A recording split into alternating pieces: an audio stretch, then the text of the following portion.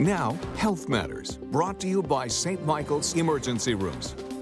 One of the more common reasons we see people in the emergency room are for scrapes, cuts, and puncture wounds. He was going after a ball on the fence, and the fence broke, and he fell onto some broken wood on the ground. Anytime a laceration occurs, the best thing to do is to clean the wound appropriately and apply pressure to stop the bleeding. Okay, Trey, I want you to tell me if you feel any of this. Does any of this hurt? Wounds that have a tendency to bleed or go deeper into the tissue will usually require suturing to repair the wound. Depending on the area and size of the wound will determine whether we use sutures or we use glue. Some wounds that are located on the face are very small can sometimes be closed with just simple glue. How many stitches?